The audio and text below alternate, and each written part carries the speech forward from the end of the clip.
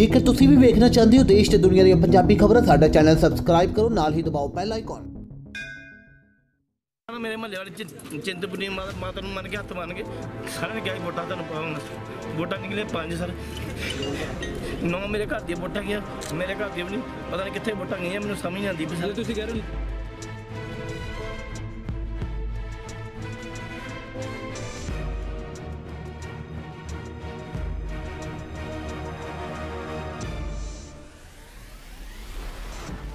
ਆਪਣੇ ਇਸ ਬਿਆਨ ਦੇ ਨਾਲ ਸੋਸ਼ਲ ਮੀਡੀਆ ਦੇ ਉੱਤੇ ਸਟਾਰ ਬਣੇ ਨੀਟੂ ਸ਼ਟਰਾਂ ਵਾਲੇ ਨੇ ਆਖਰਕਾਰ ਚੋਣਾਂ ਕਿਉਂ ਲੜੀਆਂ ਸੀ? ਇਸ ਗੱਲ ਦਾ ਖੁਲਾਸਾ ਨੀਟੂ ਸ਼ਟਰਾਂ ਵਾਲੇ ਨੇ ਖੁਦ ਕੀਤਾ। ਦਰਅਸਲ ਜਲੰਧਰ ਦੇ ਐਮਪੀ ਚੌਧਰੀ ਸੰਤੋਖ ਸਿੰਘ ਇਸ ਦੀ ਵੱਡੀ ਵਜ੍ਹਾ ਹੈ ਨੀਟੂ ਸ਼ਟਰਾਂ ਵਾਲੇ ਦੀ ਮੰਨੀਏ ਤੇ ਉਹ ਐਮਪੀ ਸਾਹਿਬ ਦੇ ਨਾਲ ਫੋਟੋ ਖਿਚਵਾਉਣ ਗਿਆ ਸੀ। ਪਰ ਇਸ ਦੌਰਾਨ ਐਮਪੀ ਸਾਹਿਬ ਨੇ ਉਸ ਦੀ ਹਾਲਤ ਦੇਖ ਕੇ ਉਸ ਨਾਲ ਫੋਟੋ ਖਿਚਵਾਉਣ ਤੋਂ ਇਨਕਾਰ ਕਰ ਦਿੱਤਾ।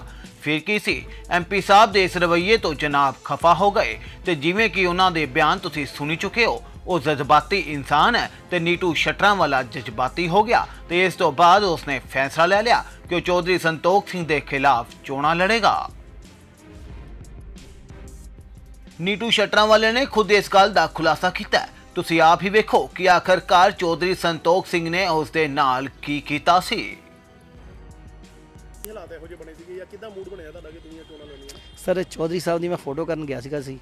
ਉਹ- ਉਹਨਾਂ ਨੇ ਮਾਣ ਕੀਤਾ, ਜਦੋਂ ਮੈਂ ਫੋਟੋ ਖੇਡਣ ਲੱਗਿਆ ਤਾਂ ਸਰ, ਉਹਨਾਂ ਨੇ ਮੇਰਾ ਮੋਬਾਈਲ ਪਰੇ ਕਰ ਦਿੱਤਾ, ਸਰ। ਮੈਨੂੰ ਬੜਾ ਦੁੱਖ ਲੱਗਾ ਕਿ ਚੌਧਰੀ ਸਾਹਿਬ ਨੇ ਇਦਾਂ ਕਰ, ਕਿਉਂ ਕੀਤਾ, ਸਰ? ਇਹ ਉਹਨਾਂ ਨੂੰ ਪਤਾ ਹੋਣਾ ਚਾਹੀਦਾ, ਸਰ।